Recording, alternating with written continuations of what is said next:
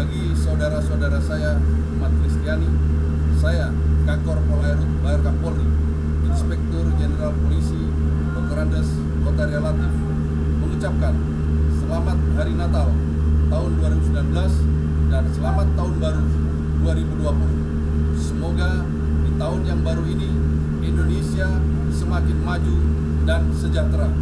Salam Gerindra.